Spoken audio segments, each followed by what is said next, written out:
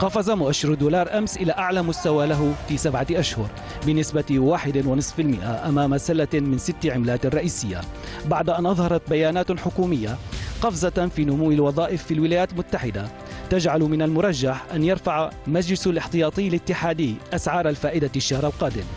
وقالت وزارة العمل الأمريكية أن أرباب العمل أضافوا 271 ألف وظيفة إلى الاقتصاد الأمريكي الشهر الماضي وهي أكبر زيادة منذ كانون الثاني ديسمبر 2014